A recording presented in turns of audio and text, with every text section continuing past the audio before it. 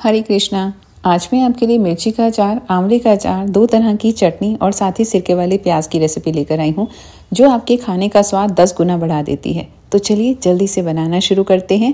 यहाँ पर मैंने 250 ग्राम हरी मिर्च ली है। ये बहुत ज़्यादा तीखी नहीं है, थोड़ी तीखी होती है और इसको हम पहले अच्छे से पानी से धो लेंगे, उसके बाद किचन टॉवल पर इस तरीके से साफ़ कर लेंगे और फिर इसे 15 मिनट के लिए या तो पंखे के नीचे सूखने दीजिए या फिर 10 मिनट के लिए धूप में रख दीजिए, ताकि इसमें जितनी भी एक्स्ट्रा नमी होती है वो निकल जाती है। अब इसे काटने के लिए मैं यहाँ पर सीज़र यानी कैंची का यूज़ कर रही हूँ। आप चाहें तो चाकू से भी काट सकते हैं। इसका डंठल वाला पार्ट हटा देंगे और फिर इसे इस तरीके से छोटे गोल टुकड़ों में काट लेंगे, जिससे इसे खाने में भी आसानी रहती है। अब एक फ्राई पैन में आधा कप सरसों का तेल ले लेंगे और इसे धुआँ उठने तक गर्म कर लीजिए, उसके बाद थोड़ा ठंडा होने दीजिए। अब इसके लिए स्पेशल मसाला तैयार करेंगे तो मैंने गैस पर एक फ्राई पैन रखा है। इसमें हम डालेंगे तीन बड़े चम्मच सौंफ, एक छोटी चम्मच जीरा, एक बड़ा चम्मच सरसों के दाने, एक छोटी चम्मच मेथी दाना लिया है उन्हें लो फ्लेम पर भून लेंगे। मुश्किल से एक मिनट लगा है, और ये मसाला अच्छे से भुन गया है। अब इसमें लास्ट में हम थोड़ी सी हींग डाल देंगे और इसे एक बार चला लेंगे और गैस का फ्लेम ऑफ़ कर देंगे और इस मसाले को हम यहाँ पर दरदरा सा पीस लेंगे। ये देखिए, ये मसाला तैयार हो गया है और ये मसाला हम यहाँ पर मिर्ची के ऊपर डाल देंगे। साथ ही इसमें मैं यहाँ पर डेढ़ छोटी चम्मच नमक डाल रही हूँ। आप चाहें तो टेस्ट के अकॉर्डिंग डाल दीजिए। एक छोटी चम्मच हल्दी डाल देंगे।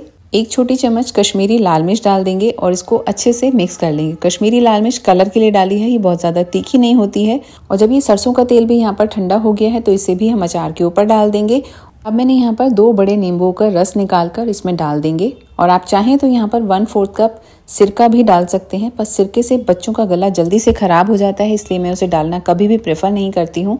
और ये देखिए, ये हमारा इंस्टेंट मिर्ची का अचार बनकर के तैयार है। यहाँ पर आप इसे साफ़ और सूखे जार में इस तरीके से डाल दीजिए। ये देखिए, देखने में ही इतना बढ़िया लग रहा है और आप इसे अभी से ही खाना शुरू कर सकते हैं। मैं इसे फ्रिज में रखती हूँ। अगर आप इसे बाहर रखना चाहते हैं तो इसके ऊपर वन फोर्थ कप ऑयल और डाल दीजिएगा, ताकि ये बाहर रूम टेम्परेचर पर भी खराब नहीं होता है।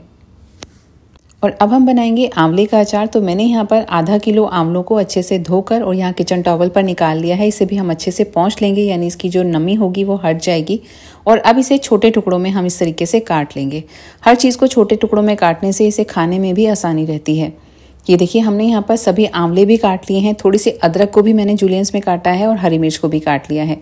अब गैस पर हमने कढ़ाई रख दी है। मैंने यहाँ पर आयरन की कढ़ाई रखी है। आप कोई सी भी ले सकते हैं। इसमें हमने दो बड़े चम्मच सरसों का तेल गरम कर लिया है अच्छे से और इसमें ये आंवला, हरी मिर्च और अदरक डाल देंगे और इसे एक बार इस तरीके से टॉस कर लेंगे और इसे ढक देंगे। ढककर हम इसे तब तक पका लीजिए जब तक कि जो आंवले हैं अच्छे से सॉफ्ट ना पड़ जाएँ। और मुश्किल से तीन से चार मिनट ही लगेंगे आपको। ये देखिए, आंवले जब यहाँ पर सॉफ्ट हो गए हैं तो अब हम इसमें यहाँ पर नमक डाल देंगे। टेस्ट के अकॉर्डिंग डाला है। तकरीबन एक से डेढ़ छोटी चम्मच मैंने नमक डाला है।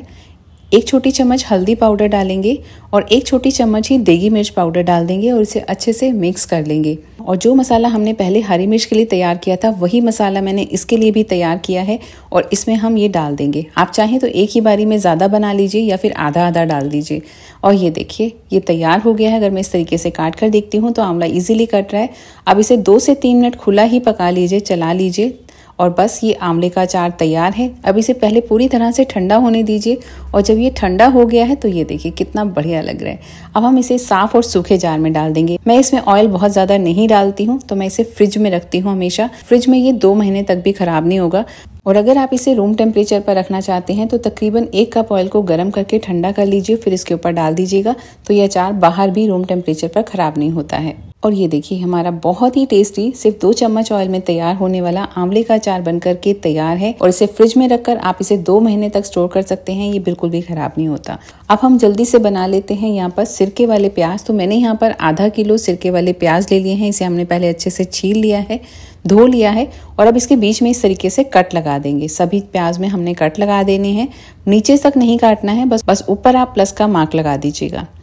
अब एक साफ़ और सूखा जार ले लेंगे। इसमें दो तेज पत्ता डाले हैं। आठ से दस साबुत काली मिर्च डालेंगे और एक चौथाई कप सफ़ेद सिरका डाला है।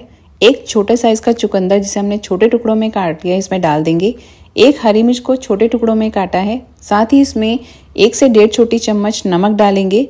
आधी छोटी चम्मच चीनी डाल देंगे और अब इसमें ये प्याज डाल देंगे।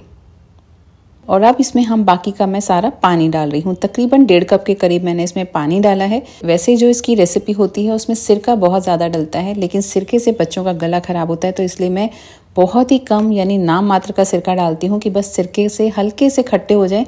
लेकिन ये जो प्याज हैं, ये बहुत ही ज़्यादा टेस्टी हैं और आप इसे फ्रिज में रख के पंद्रह दिन तक स्टोर कर सकते हैं, ये बिल्कुल भी ख़राब नहीं होते।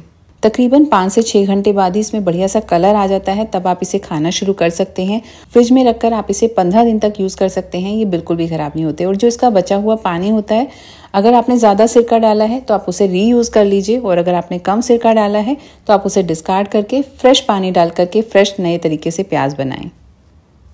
अब हम बनाएँगे चटनी। तो मैंने यहाँ पर एक कप हरा धनिया और आधा कप पुदीना को अच्छे से धोकर इसमें डाल दिया है।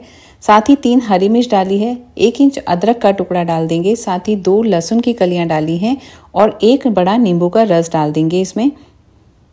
थोड़ा सा पानी डाला है। अब साथ ही डालेंगे एक छोटी चम्मच काला नमक, आधी छोटी चम्मच भुना हुआ जीरे का पाउडर और आधी छोटी चम्मच चाट मसाला डालेंगे और इसे ग्राइंड कर लेंगे। और ये देखिए, हमने इसे ग्राइंड कर लिया है। लेकिन मैं इसमें यहाँ पर नमकीन डालना भूल गई थी पहले तो आप पहले ही डाल दीजिएगा। यहाँ पर अब मैंने तीन बड़े चम्मच आलू भुजिया डाली है। आपके घर में कोई भी नमकीन हो, आप पहले ही इसमें डाल दीजिएगा और इसे फिर से ग्राइंड कर लेंगे। ये देखिए, नमकीन डालने से जो चटनी का कलर तो ब्राइट होता ही है, साथ ही टेस्ट भी बहुत इनहेंस हो जाता है। अब मैंने यहाँ पर एक कप दही को अच्छे से फेंट लेंगे स्मूथ कर लेंगे। इसमें तीन से चार बड़े चम्मच धनिया पुदीना की चटनी डाल दीजिए। ये कोई भी आप तंदूरी स्टार्टर या कोई भी स्नैक्स बनाएँ, उसके साथ ये चटनी सर्व करिए, बहुत ही ज़्यादा टेस्टी है। ये इस तरह से हमने दोनों चटनी बना करके तैयार कर ली हैं। और लीजिए यहाँ पर हमारा ये आंवले का अचार, मिर्ची का अचार, सिरके वाले प्याज और दोनों तरह की चटनी बन करके तैयार है और ये आपके खाने का स्वाद 100 परसेंट बढ़ा देंगी। तो आई होप कि आज की रेसिपी आपको पसंद आई होगी। इसी तरह की और नई नई रेसिपीज़ देखने के लिए वीडियो को लाइक और चैनल को सब्सक्राइब करना बिल्कुल भी मत भूलना। अब मिलती हूँ एक और नई रेसिपी के साथ। तब तक के लिए बाय एंड टेक केयर